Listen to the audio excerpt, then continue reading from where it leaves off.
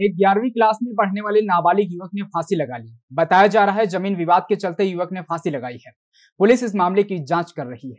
ये घटना भांडेर की है। पुलिस को सूचना मिली थी कि नाबालिग युवक, जिसका नाम नितेश साहू है, उसने अपने घर में फांसी लगाकर आत्महत्या कर ली। घटना के वक्त परिवार के सभी लोग किसी काम से खेत में गए हुए थे। जब उन्होंने आकर देखा, तब तक युवक की मौत हो चुकी थी। वहीं ग्रामीणों का कहना है कि दो दिन पहले मृतक के घर पर किसी बात को लेकर विवाद भी हुआ था। भी आओ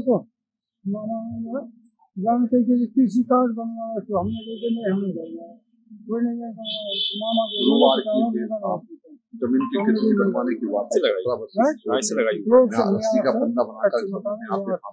वो खबरें जो आपके काम की है वो खबरें जो आपके लिए ज़रूरी है हर आम और खास से जुड़े मसले हर मसले का सटीक विश्लेषण हम करते हैं सत्य का अन्वेषण।